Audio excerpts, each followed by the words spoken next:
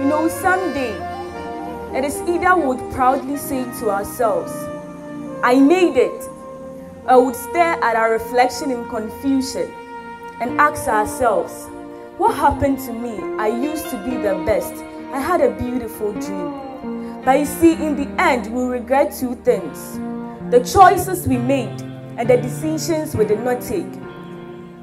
Those dreams of being the best, the first, and the greatest will remain dreams if we continue to sleep.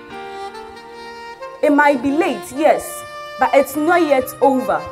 We've still got time to right our wrongs, better our weaknesses, and accept responsibility.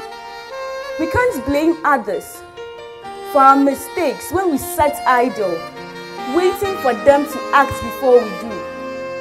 It's time to decide for ourselves. It's either we make it or we watch others making it while we sit and perish with our dreams. Remember, you are your own destiny.